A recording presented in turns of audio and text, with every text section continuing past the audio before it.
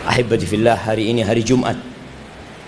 Harinya bersalawat buat Nabi alaihi salatu wassalam. Perbanyaklah salawat buat Rasul sallallahu alaihi wasallam. Baca suratul kahf.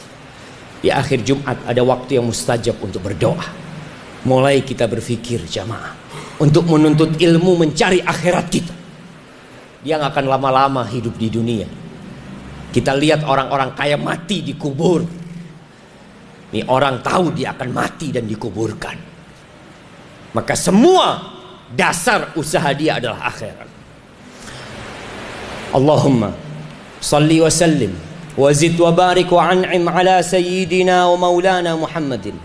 Allahumma ighfir lil mu'minina wal mu'minat wal muslimina wal muslimat al ahya minhum wal amwat innaka sami'un qaribun mujibud da'awat. اللهم أصلح ولي أمرنا وولاة أمور المسلمين.